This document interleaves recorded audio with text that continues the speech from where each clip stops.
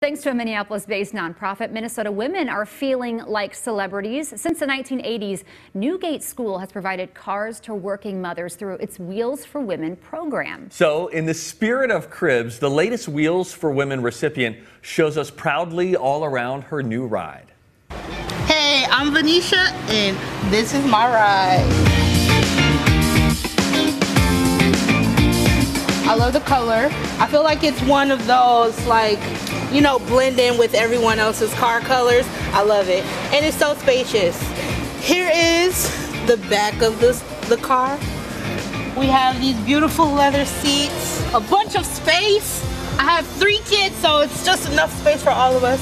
I have three kids, all boys. Um, they're very vibrant, energetic. They keep me on top of my toes. They're very loving. I did have another car. I had bought a car maybe like four or five months ago. And I knew that it had problems, but I needed a car. I don't have a lot of money to like buy something really great. So I bought a used car, um, and it had a lot of problems. I went to the shop so many times, and um, I just couldn't get it fixed. And one day it just broke down. For that car, I spent maybe at least over $700 just to get it fixed. What I love about the front of the car is it has like this wood grain finish here, which I didn't expect from a 2004, but it looks really good. It's super huge in the front seat. And hearing Venetia's story, how, you know, she is a mother of three, she bought a car, sunk a lot of money in repairs, and then that car broke down and she had no way to get to work. I mean, that that's a, that's a troubling situation.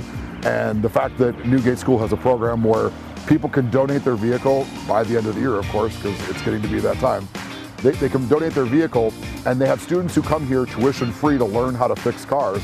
Those cars get fixed up and then donated to mothers who need a vehicle. I mean, how awesome is that? And if the vehicle doesn't get donated, the vehicle gets sold, and that helps fund the tuition for students that come here to learn. I mean, that's like the best awesome karma circle I've ever been part of in my life. On occasion, when we give a car away, we still have unforeseeable things that will happen. In this case, her car is running too cold, and now we're getting into our winter weather, and the computer set a code for the thermostat saying car's running too cold. So uh, she can come back in, we'll take care of the thermostat, fix it for free, so she can keep going. Usually we give away a car, and we'll help support that person the next three months, six months with repairs, some things that we may not have caught on the original inspection.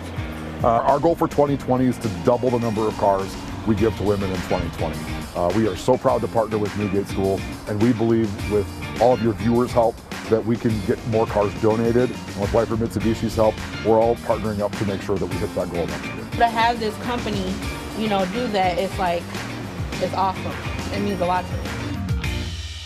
We love these uh, stories. It's I good people that. getting together and doing good things. Good transportation is so important, especially so when you have kids important. in the car. No so kidding. I love she those was stories. great. We love her. Hey, if you'd like to donate a car to the Newgate School, or maybe you happen to be in need of a car through their Wheels for Women program, we've got a link with some more info. We put it up on our website, twincitieslive.com. And a big thanks, as always, to White Bear Mitsubishi for sponsoring our show.